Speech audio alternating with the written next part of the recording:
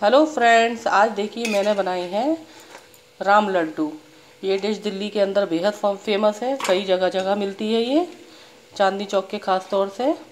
तो ये मूंग की दाल और चने की दाल और उड़द की धुली दाल। ये इसका कुछ रेशियो है, उस हिसाब से आप इसको भिगो के, दाल को पीस के बना सकते हैं। तो ये मेरे बन गए और अब चलिए इसकी प्लेटिंग करते हैं। तो सबसे पहले हम राम लड्डू को इस ढंग से रख देते हैं।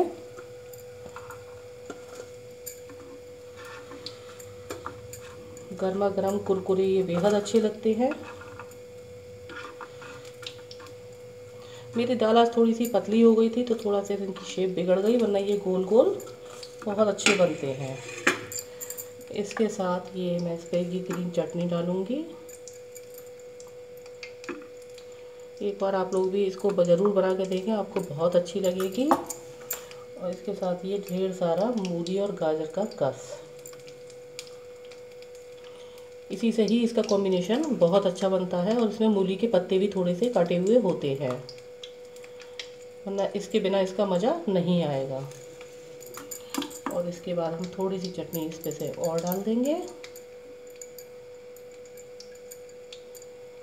आप लोग ज़रूर बनाइएगा, इसको बहुत अच्छी लगेगी। और थोड़ा सा हम ये चाट मसाला भी इस पर स्प्रिंकल करेंगे।